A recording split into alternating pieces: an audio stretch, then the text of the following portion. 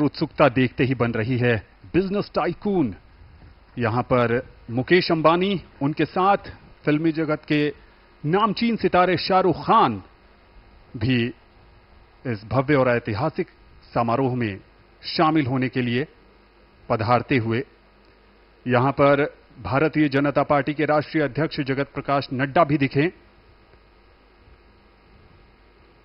शाहरुख खान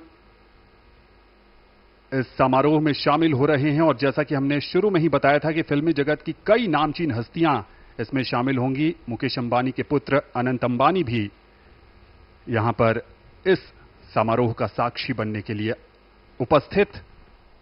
अपने आप में बहुत ही ऐतिहासिक अवसर है। एक तरफ़ सुकून तो दूसरी तरफ़ उत्सुकता। सुकून एक दृढ़, मज़बूत और प्रभावी सरकार के हाथ में देश का नेतृत्व सौंपने का। उत्सुकता भावी भारत